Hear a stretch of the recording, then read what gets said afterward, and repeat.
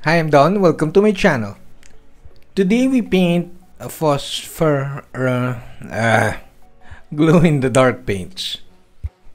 We start by priming with the Mecha Gray primer. You want this is very durable acrylic primer. You could use the white primer, but we're saving like a couple of passes or a couple of coats with using the gray primer. I thin my primers one is to one with my thinning sauce and apply it like in a couple of coats. Make sure you let it dry in between coats. Now we paint with the best white acrylic paint the premium white. This feels like the Mecha Pure White. The only difference is, is that this is super matte. And being matte, it feels like it covers better than the satin finish of the Pure White.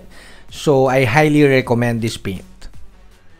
Normally, we paint the glow-in-the-dark paint or fluorescent paints over the white, but I wanted like a really bright color even if it's not under blue light or under even if you're not triggering the glow-in-the-dark stuff. So I'm painting with my Fab Green, which is Scorpion Green from Game Air.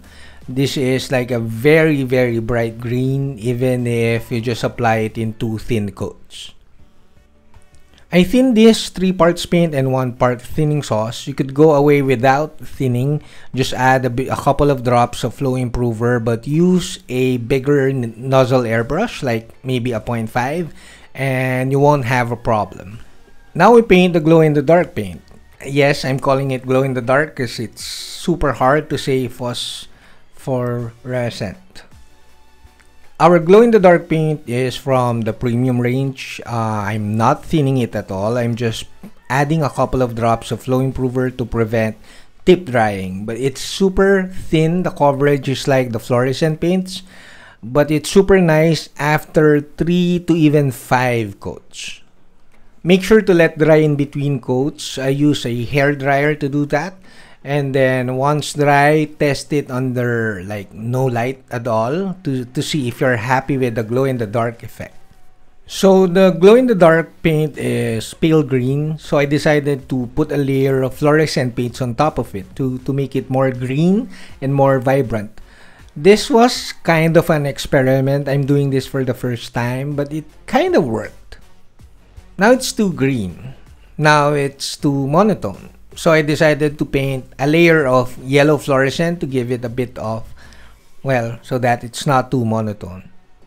No thinning for fluorescent paints because it's too thin already. Just add a couple of drops of flow improver and you're good to go.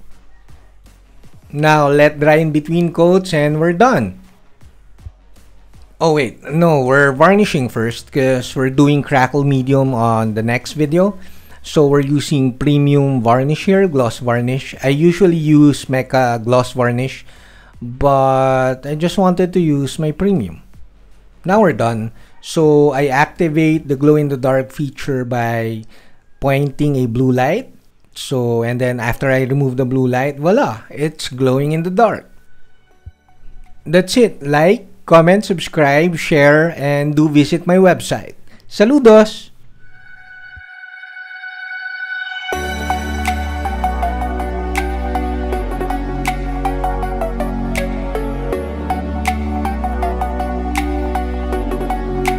I am Don. Welcome to my channel.